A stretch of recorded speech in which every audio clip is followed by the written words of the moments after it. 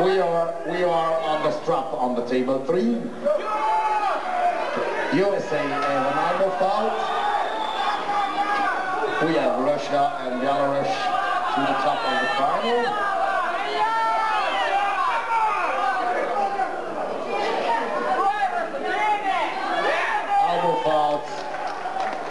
Losing position and